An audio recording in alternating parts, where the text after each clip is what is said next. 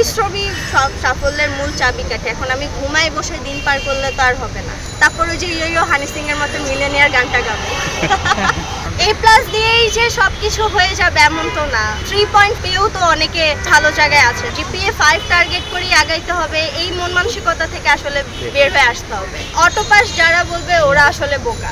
আমাদের মর্যাদাটা আসলে তারা বুঝে নেয়। আঙ্গুর ফল খেতে না পারলে টক তো, এটা তাদের জন্য প্রযোজ্য।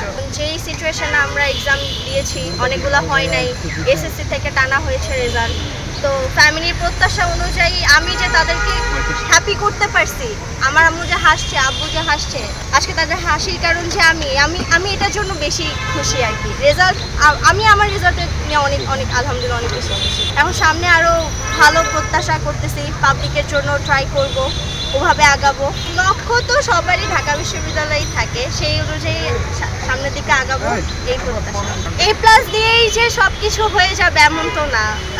থ্রি পয়েন্ট পেয়েও পেয়েও তো অনেকে অনেক ভালো জায়গায় আছে। তো আমাদেরকে তো শুধু ওই ম্যানুয়াল ইগনিশনে আগুন জ্বালানোর দিন শেষ। যমুনা অটো ইগনিশন গ্যাস স্টোভে রান্না হবে বেশ। জিপিএ ফাইভ টার্গেট করেই আগাইতে হবে, এই মন মানসিকতা থেকে আসলে বের হয়ে আসতে হবে। কারণ হাসি খুশির একটা দিন সবাইকে আসলে উল্লাসে মাতোয়ারা থাকতে হবে। পয়েন্ট ডাজন্ট ম্যাটার অটোপাস যারা বলবে, ওরা আসলে বোকা। আমাদের মর্যাদাটা আসলে তারা বুঝে নেয়। আন্দোলনের ভিতরে সরকার পতন, কত কিছু হয়ে গেল। তো মানে চারিদিকে একটা অন্যরকম পরিবেশ ছিল। আমরা প্রতিনিয়ত এদিকে গন্ডগোল হচ্ছে, এদিকে আহাজারি হচ্ছে। এগুলার ভিতর থেকে যে আমরা আমাদের নিজেদেরকে যে সেফলি রাখতে পারছি, এটা আসলে আগে ভাবতে হবে। আমরা সাতটা পরীক্ষা দিয়ে আজকে রেজাল্ট পাইছি, আলহামদুলিল্লাহ। অটোপাস তো ওরা ওদের মজাটা তো বুঝতেছে।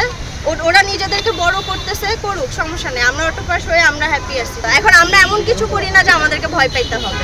তারা নিজেরাই যদি আমাদেরকে ভয় পায় ঠিক আছে আমাদের দাম বাড়তেছে। আমি যেহেতু বিজনেস স্টাডিজ থেকে পড়েছি তো আমি বিজনেস আঙ্গুর ফল খেতে না পারলে টক তো এটা তাদের জন্য প্রযোজ্য। ওরা পায় নাই এখন ওরা অনেক কিছুই বলবে। আর আমি চেষ্টা করব আমার সবটুকু দিয়ে এতটুকুই আমি জানি। পরিশ্রমী সব সাফল্যের মূল চাবিকাঠি। এখন আমি ঘুমাই বসে দিন পার করলে তো আর হবে না। চেষ্টা করে যাব যা কপালে রাখছে আল্লাহ। তারপর ওই যে ইয়ো ইয়ো হানি সিং এর মতো মিলেনিয়ার গানটা গাবো। আমার সহপাঠীগণ বন্ধু বান্ধব যারা আছে সবাই আলহামদুলিল্লাহ অনেক ভালো রেজাল্ট করছে। আমার চেয়েও অনেক ভালো রেজাল্ট করছে। আমি ওদের জন্য অনেক অনেক খুশি যে ওই সিচুয়েশনে থেকে অনেক আন্দোলনে গেছে। আমি যাই নাই না গিয়ে ওদেরকে সাপোর্ট করছি। এক দুই দিন হয়তো জানলা দিয়ে উকি দিছি তারপরও মনে মনে সাপোর্ট করা অনেক বড় একটা ব্যাপার। তো ওরা যে আন্দোলনে গিয়ে এই রেজাল্ট আনছে, এটা আসলে অনেক অনেক বড় পাওয়া ওদের জন্য।